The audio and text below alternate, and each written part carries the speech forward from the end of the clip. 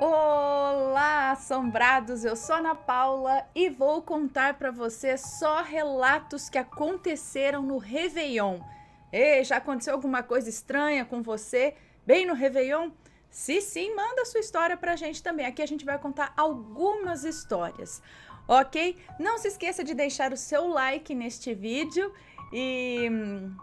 E não se esqueça de fazer, a hora que puder, aquela visitinha à loja assombrada, ok? E vamos aqui então aos relatos de hoje, de ano novo, de Réveillon, né? Já que tá chegando aí a virada do ano. Então vamos lá. O primeiro é este, invocação, invocação no ano novo. Ei, já vai começar invocando as coisas. É uma moça que nos conta. Todos os anos, eu e os meus amigos combinamos de passar a véspera do ano novo com a família e depois da meia-noite nós nos encontramos. Bom, até aí tudo bem, fizemos isso como de costume.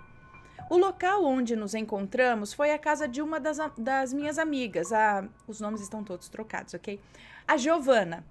Lá é bem grande, é um sobrado, e na parte de cima tem tipo uma área, um terraço, e nós fomos para lá. Conversamos e zoamos, e no meio de toda essa zoeira a gente começou a falar uh, Halam, Halam. Eu não sei como isso começou, mas a gente falava na brincadeira. Halam está com você, servimos a Halam, te enviamos Halam. E continuamos a fazer isso a madrugada praticamente toda. Era mais ou menos umas três horas da manhã quando um dos nossos amigos foi embora. Depois disso, cerca de uma hora depois, três dos rapazes desceram para ir ao banheiro. Na casa tem quatro banheiros, contando o banheiro do bar, que era onde tínhamos acesso e que precisava descer uma escada por fora da casa. A porta para entrar na casa, propriamente dita, estava fechada. Os pais, a avó e as irmãs da Giovana já tinham ido dormir. Eles foram e, enquanto um usava o banheiro, os outros dois esperavam sua vez perto da escada. Enquanto eles estavam lá embaixo, eu e mais cinco amigos estávamos em cima e nessa hora a luz da casa da vizinha começou a piscar sem parar. Eu não sei se era árvore de Natal ou não, mas isso começou do nada. Quando eles voltaram, sabe aquela cara de quem acabou de ver um fantasma? Então, eles estavam pasmos e sérios e começaram a chamar nossa atenção por ter, segundo eles, evocado e chamado o tal do Halam. A gente achou que eles estavam zoando, mas aí eles começaram a contar o que aconteceu enquanto eles estavam lá embaixo. Eles ouviram passos, muito pesados, vindos da escada, porém ao olharem não tinha ninguém. Um olhou para a cara do outro e disse: Cara, só eu ouvi isso ou você ouviu também? E o meu outro amigo respondeu: Não, eu também ouvi. Então eles resolveram esperar o outro que estava no banheiro e quando ele saiu, disse que também ouviu. E aí os três saíram correndo, disparados. Ficamos o resto da noite morrendo de medo. Depois disso, houve um momento em que as luzes apagaram sozinhas e depois retornou. Olha, foi uma noite muito tensa. Todo mundo sentiu, todo mundo teve uma sensação ruim. Então todos nós nos juntamos e fizemos uma oração. Rezamos o Pai Nosso, porque seja lá o que estivesse ali, queria nos assustar. O combinado era irmos embora às quatro da manhã, porém só fomos quase às sete horas da manhã, porque o medo era tanto que ninguém conseguiu descer as escadas antes de amanhecer, e os pais da Giovana ficaram acordados. Os pais ficaram acordados? Enfim, mas gente, da onde que surgiu esse ralam? Elas nem sabem o que é, do nada começaram a falar isso. Estranho, né?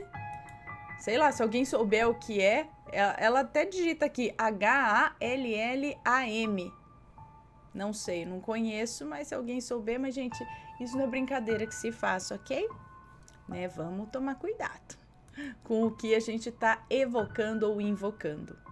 Certo? Próximo relato: o lanche de ano novo fatal. Vamos lá. Minha mãe, é uma moça que nos conta, tá? Minha mãe, Sofia, é dona de uma instituição de caridade, onde ela briga e cuida de pessoas com diversos problemas mentais. E tudo começou no dia 31 de dezembro de 2018. Era uma tarde normal, a despeito de ser véspera de Ano Novo, Sofia estava fazendo suas tarefas de todos os dias e tudo corria bem. Foi quando uma psiquiatra, Mafalda, que tratava há muitos anos um paciente que morava lá, o Enzo, chegou com uma bandeja de pães de queijo e outra de esfirras para fazer um lanche com os pacientes. Sofia estava fazendo a lentilha para o ano novo dos pacientes e pediu para que ela não desse nada para eles comerem, pois senão eles não conseguiriam comer a lentilha. Mas que ela ia dar o lanche, mas que ela iria dar o lanche que ela trouxe junto com a lentilha. Ok. Porém, Mafalda nem deu bola. Fez pouco caso disso e disse para Sofia esquentar a lentilha no outro dia. Sofia deixou quieta essa questão e acompanhou Mafalda até a área onde os pacientes estavam. Mafalda foi passando as comidas para cada paciente. Enzo estava tomando chimarrão, mas vendo o lanche na tentativa de abraçar o mundo com as pernas curtas, ele meio que enfiou a comida toda na boca. Lembrando. Bom, ele pegou e enfiou a comida toda na boca e começou a engasgar. Sofia, vendo aquilo, tentava salvá-lo, batendo nas costas, mas não adiantava nada. Meu pai ligou para o SAMU, que não demorou muito para chegar. Gente, quando a pessoa afoga, não é para bater nas costas, você tem que pegar ela por trás aqui, colocar as mãos na boca do estômago aqui, ó, e dando tranco aqui, ó, na pessoa, tá? Enfim, tem que a gente todo mundo devia saber de primeiros socorros para nesses casos, às vezes não dá tempo de chamar a ambulância, não chega a tempo, a gente, por isso se chama primeiros socorros, é uma coisa que todo mundo tem que fazer, é, deveria saber, né? Isso devia ser ensinado na escola já, todos os anos, para relembrar e praticar, por todo mundo, porque nunca se sabe a hora que você vai estar do lado de alguém, você pode salvar a vida dessa pessoa ou dessa criança. Mas continuando, é, então quando, mas falar que eu sei também, eu não sei não, preciso aprender. Eu só sei desse negócio aí, mas graças a Deus nunca, tive que botar em prática. Mas a gente sempre fica pensando, esse um dia precisar, né? Em criança pequena, assim, bebezinho, você deita ele de, de bruços no seu colo e, e, bate assim nas costas, sei lá, uma coisa assim. Você vai dando uns tapas assim com ele de meio que de, de ponta cabeça, assim, sei lá. Sei que uma vez eu fiz isso na Penélope, se não me engano. Mas não foi nada, eu não sei, acho que ela tava. Ah, não sei, na hora que ela, ela começou meio. Aí eu fiz isso, meu Deus, que desespero. Mas tem que saber. Todo mundo deveria saber. Mas voltando ao relato. Então, meu pai ligou pro SAMU, que não demorou muito para chegar, graças a Deus. Colocaram o Enzo dentro da ambulância ali mesmo. Olha lá, tô falando, ele veio a óbito por engasgo estou falando. Logo, um cheiro de jasmim invadiu a casa toda, o que não era comum, pois não tinha nada plantado ali por perto. Bem, passou o velório no outro dia e o enterro. Sofia se culpava muito, ela chorava e nada a acalmava, pois ela gostava muito do Enzo. Pela noite do dia 1 de janeiro de 2019, ela foi dormir. Sofia queria ligar o ventilador, mas não havia tomada no quarto, então ela pegou uma extensão e ligou na tomada da cozinha, que ficava colada com o quarto, e deixou a porta entreaberta. Ficou um bom tempo pensando, se culpando e chorando, quando de repente uma sombra passou pela porta. Ela conseguiu ver, pois a lanterna estava ligada e virada para o teto. Logo que viu essa sombra, minha mãe pensou que fosse eu perambulando pela casa, mas foi me ver e eu estava dormindo. Deitou de novo e ficou mais um tempo pensando. Então começou um barulho muito estranho, como se alguém tivesse pegando a tomada que ligava o ventilador na extensão, no chão, e logo que ela desligou a lanterna, e Sofia ligou a luz novamente e o barulho sumiu. Desligou e o barulho recomeçou, mas não tinha nada que pudesse fazer esse barulho. Foi quando ela começou a pensar no Enzo e pediu para Deus que o levasse em paz e que, e que ele fosse para um lugar melhor. Ela conta que depois disso um silêncio tomou conta do ambiente. Ela sentiu muita paz e do nada ela simplesmente dormiu. No outro dia, aquele cheiro de jasmim que permanecia na casa também sumiu. Sofia interpreta isso como um aprendizado que todos devemos ter. Que toda a culpa, mágoa e tristeza que sentimos quando perdemos alguém acaba atrapalhando a vida deles após a vida, entendeu? Ah, o caminho deles uh, após o desencarne, digamos isso.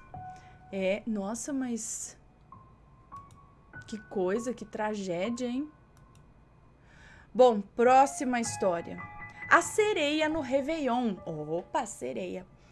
É, não sei se é moço ou moça que nos conta. Um amigo da minha família, é, os nomes estão todos trocados, ok?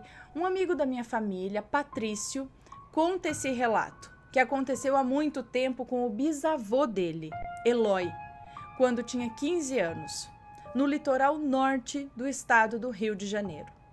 Isso aconteceu na noite de Réveillon do ano de 1899 para 1900. Uau! Naquela época não tinha tanto essa coisa de queima de fogos, então a família fez um pequeno piquenique só com pessoas da família e o Eloy foi olhar um pouco, foi olhar um pouco o mar.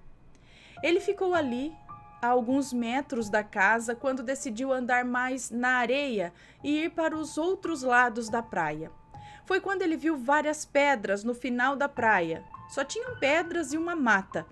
E ele decidiu ir até lá. Quando chegou mais próximo, Eloy percebeu que tinha alguém ali.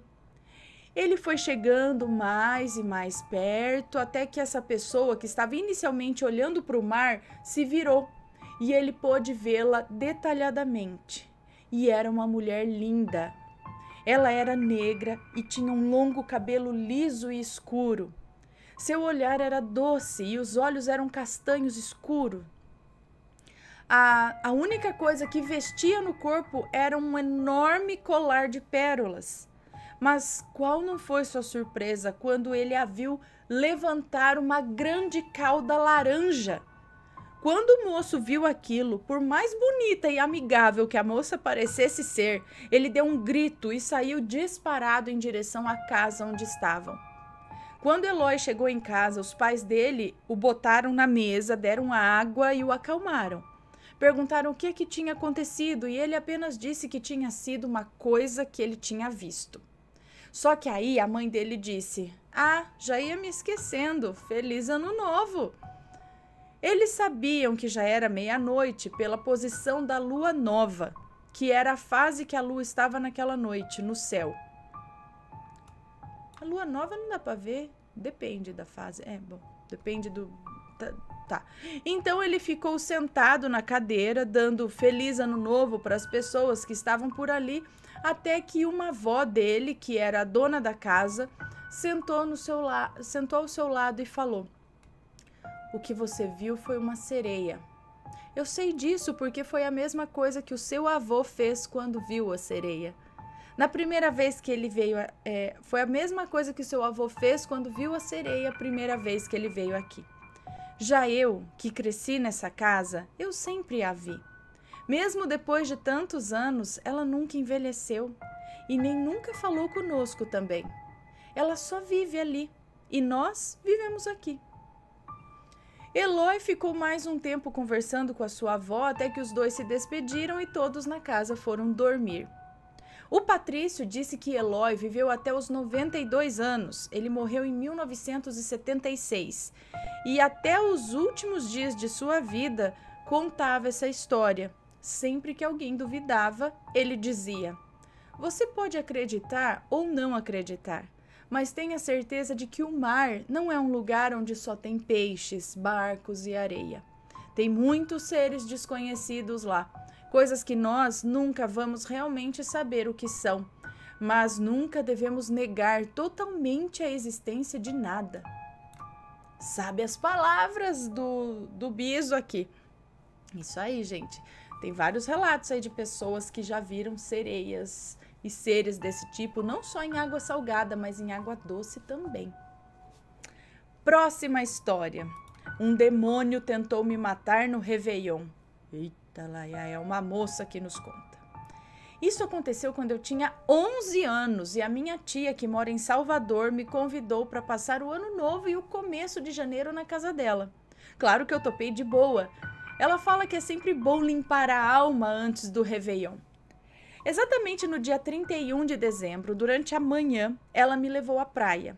Não me recordo bem, mas já tinha se passado algumas horas e ainda me lembro de sair correndo da água perguntando que horas eram. E ela falou: são 2h45. Brinque mais um pouquinho com as meninas para nós irmos para casa. Bom, as meninas eu tinha conhecido lá mesmo, fizemos amizade na praia. Mas teve uma bem diferente que chegou de repente e começou a conversar com a gente. Ó, oh, rimou.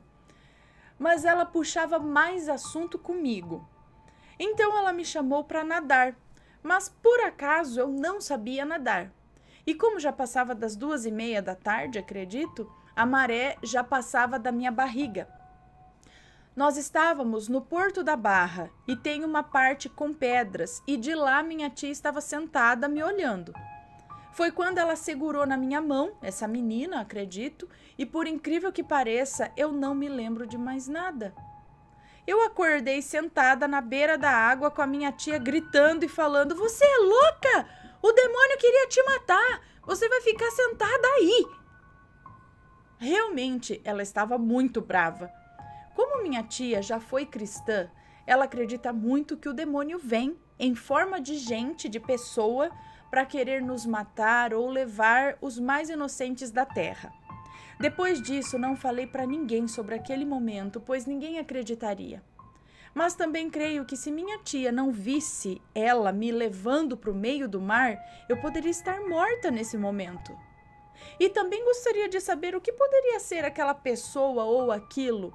Eu conto esse relato, pois espero que um dia alguém acredite que eu quase fui morta, sem nem mesmo perceber. E o que, que a sua tia fala? O que, que ela viu? Por que, que ela ficou tão brava e por que, que ela afirmou o demônio queria te matar? Ela viu alguma forma animalesca te levando enquanto você via apenas uma menina. A menina sumiu na frente dela, tipo como um fantasma. O que que tem que conversar e ver o que que a tua tia viu, né? O lado da, da tua tia aí. É, mas eu não sei, mas eu, eu já vi relatos, a gente já viu aqui, né, de espíritos que eu não sei porquê, porque é o motivo deles, mas eles vêm para tentar matar os outros ainda assim. Realmente, para levar para o mar, tipo, vem, vem para cá, vem nadar, sabe? Ou então induzir uma criança a ligar o gás do fogão, essas coisas, sabe? Para conduzir a tragédias. Não sei o que é, nem porquê. Se alguém souber, deixa aqui nos comentários. Próximo relato. Vi meus avós no Réveillon. É um moço que nos conta. Nessa virada de ano aconteceu uma coisa na minha casa que chegou a me emocionar.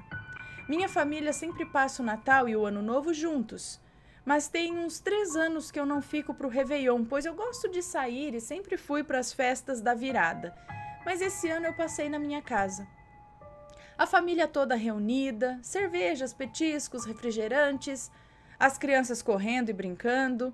Temos uma tradição. Sempre que dá meia-noite, fazemos uma oração para agradecer a reunião familiar e fazer pedidos para o ano que está começando. Nessa virada não foi diferente. Sentados na mesa estavam os meus pais, primos e eu. Estávamos conversando sobre meus avós por parte de pai que faleceram 15 anos atrás. Falávamos de como eram falávamos de como eles eram, lembramos histórias da casa e de como eles eram carinhosos com todos os netos, até aí normal. Mas quando deu meia-noite, depois que desejamos felicidades uns aos outros, fizemos a oração. Eu sempre oro de olhos fechados e de cabeça baixa, mas nesse dia eu levantei a cabeça e abri os olhos. Foi aí que eu vi. Na roda estavam todos de mãos dadas, com a minha mãe orando, mas nessa roda eu vi duas luzes brancas, uma ao lado da outra, como se estivessem segurando as mãos do meu pai. E eu fiquei olhando até o fim da oração.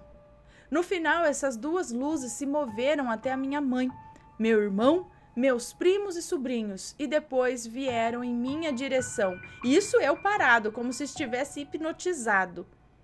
Quando chegou em mim, eu ouvi uma voz de senhora dizendo: Prosperidade neste ano, meu neto, é o que seu avô e eu desejamos para ti. Logo depois eu voltei ao normal e as luzes tinham sumido. Eu contei para todo mundo e minha prima e meu irmão, que são umbandistas, disseram que também viram e ouviram a mesma mensagem. E disseram que falaram com todo mundo presente na oração. Eu me arrepiei todo, mas como estou acostumado com essas coisas, né?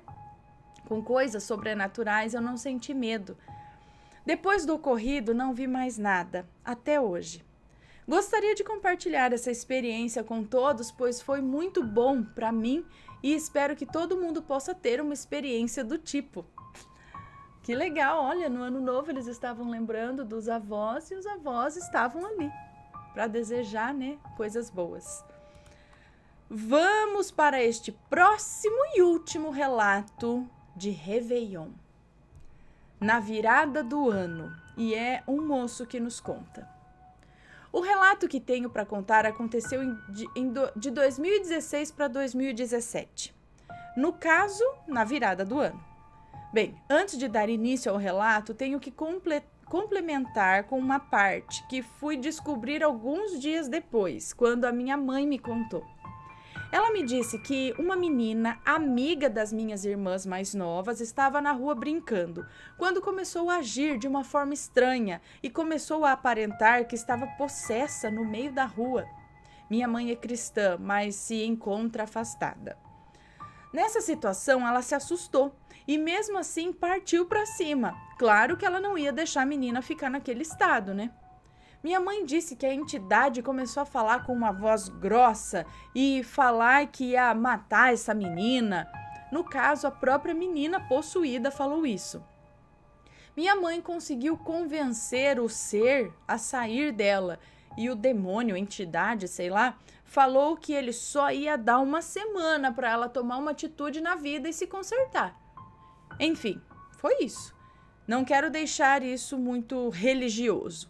Mas tá, continuando. Agora vamos ao relato. Voltando ao ano novo aqui. Meus familiares foram à praia e meu irmão mais velho foi para um encontro de amigos nessa noite. Como sempre, toda noite de ano novo, eu me encontro com a minha namorada e nós viramos o ano na igreja, onde logo após acontece um jantar entre os membros. Viramos o ano, eu levei minha namorada para casa e fui para minha casa. Muito bem. Onde eu moro é tipo um quintal, com três casas em um morrinho. Na primeira casa de baixo moram meu avô e minha. Moravam, então, acho que meu avô e a minha avó. Porque ele falou que moram meu avô e minha falecida avó. Mas ela mora lá ainda. Então, acho que morava nessa época o avô e a avó, que hoje é falecida. Na casa do meio moramos eu, meus irmãos e os meus pais. E na casa de cima moravam meus tios com a família dele. Chegando na portaria da casa, eu avistei a casa dos meus avós fechada, mas com as luzes acesas. Com isso, eu subi rapidamente para minha casa, onde somente as luzes vermelhas que meu pai colocou em cima da estante e as luzes do pisca-pisca estavam acesas. Eu estava tão cansado que eu sentei no sofá, esperei alguns minutos e fui para o meu quarto. Apaguei as luzes, esqueci até de tirar a roupa da festa e deitei na minha cama. Assim que deitei, me cobri todo, até a cabeça. Sempre faço isso, pois é uma mania minha. E de repente escutei passos rápidos atrás da minha casa. Onde somente é, atrás da minha casa. E como tem árvores atrás da casa, deu para escutar os passos sobre as folhas secas. Eu levantei rapidamente, peguei uma katana sem corte que tinha no meu quarto e fui ver o que era. Pela janela, com muito medo, mas nada fora do normal. É, fui, ah, fui ver o que era pela janela. Beleza. Então não avistei nada.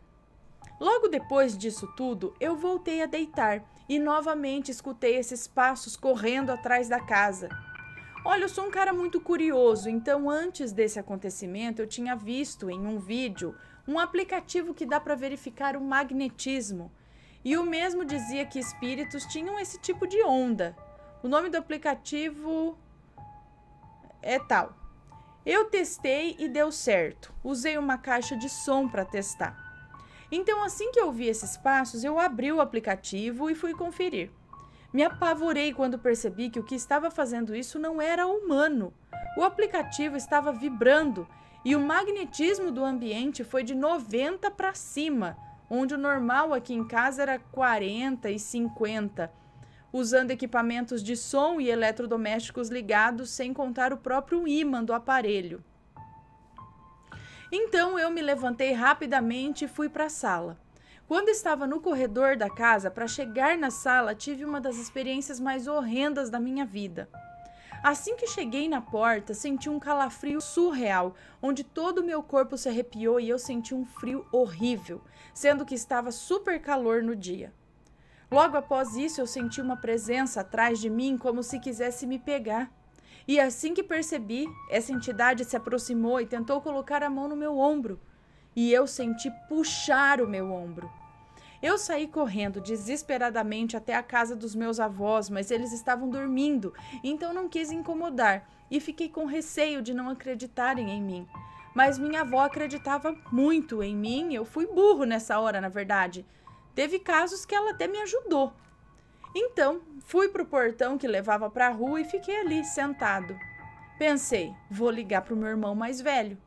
Ele atendeu rapidamente, eu continuei e eu contei tudo o que aconteceu. Ele disse que não podia ir para casa, pois ia dormir na casa de um amigo e que era para eu repreender aquilo antes de entrar em casa de novo. E eu pensei, vacilão. então foi o que eu fiz. De acordo com a minha crença, eu fui orando baixinho até chegar à porta de casa. Quando cheguei na porta, eu falei com mais firmeza: a casa é minha e você vai sair agora, pois eu estou com Deus. E fui para o quarto, mesmo desconfiado, e deitei. Depois disso tudo, eu acordei seis horas da manhã com meu irmão vacilão na minha frente, perguntando se eu estava bem. Só uma análise que fiz de tudo isso é, será que a entidade que possuiu aquela menina que eu contei no início do relato, será que ela tentou se vingar da minha mãe tentando me ferir de alguma forma? Pois a presença não era nem um pouco positiva. Sentir aqueles calafrios e aquele frio horrível foi aterrorizante. E esse é o final da história. Bom, gente, não sei, né? É uma, é uma possibilidade essa entidade ter ficado meio brava com a sua mãe e ter tentado, né? É, atingir a família. Pode ser sim, pode ser outra coisa, também pode. Não saberemos, né? Mas a questão é que tem que se proteger e é isso aí. Deu certo, né? Deu certo. Espero que tenha dado certo. Bom, pessoal, esses foram os relatos, coisas que aconteceram durante o Réveillon, que aconteceram no Ano Novo. Se algo assim aconteceu com vocês, manda o seu relato pra gente, deixa aqui nos comentários, ok? E que vocês tenham um ótimo Ano Novo, uma ótima passagem de ano, tá? Que terminem bem e comecem bem o ano e que só tenham experiências boas, tá bom? Um beijão para vocês e a gente se vê no próximo relato. Fui!